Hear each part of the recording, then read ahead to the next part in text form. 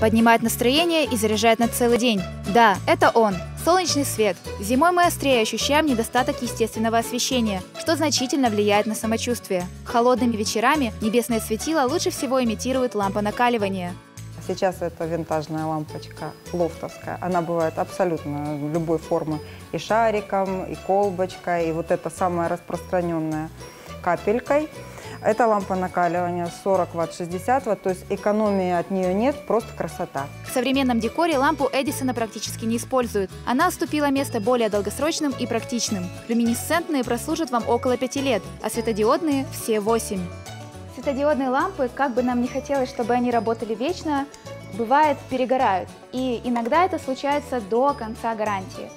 В таких случаях, если вы сохранили коробку, вы всегда можете прийти в магазин, где покупали ее, и обменять. Правильно подобрать лампу вам помогут обозначения на упаковке. Ваты показывают количество потребляемой энергии. В люминах исчисляется интенсивность свечения. Также стоит обратить внимание на состав. Некоторые источники света могут нанести вред здоровью. А в люминесцентных лампах там ртуть, и поэтому... А, и поэтому их э, мы должны сдавать в пункты приема. Желательно, конечно же, заботиться не только о сиюминутном удобстве, а и о будущем. Поэтому эти лампочки желательно приносить э, и сдавать, э, даже вот, допустим, к нам в магазин можете принести, и мы их отвезем э, поставщику, а, соответственно, они... Ну, Правильно утилизируют. Да, абсолютно верно. Лампы не только освещают, но и меняют восприятие пространства. Они могут разделять помещения на функциональные зоны и скрывать изъяны интерьера. Важна и температура цвета. Мягкие оттенки расслабляют, а холодные настраивают на рабочий лад. Теплый свет – это ваша спальня, это детская. Нейтральный свет – это ваша кухня, это ваша ванна.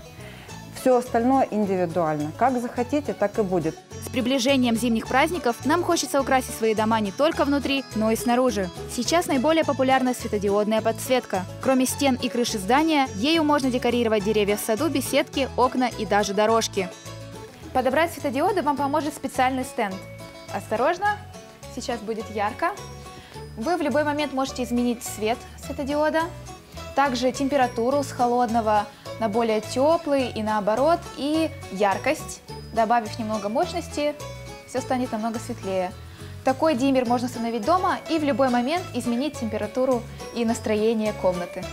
Внутри помещения новогоднюю атмосферу создадут электрические гирлянды. Если соблюдать все меры предосторожности, ваши праздники пройдут не только красочно, но и безопасно. Дарья Шарипова, Максим Турчев. Утро нового дня.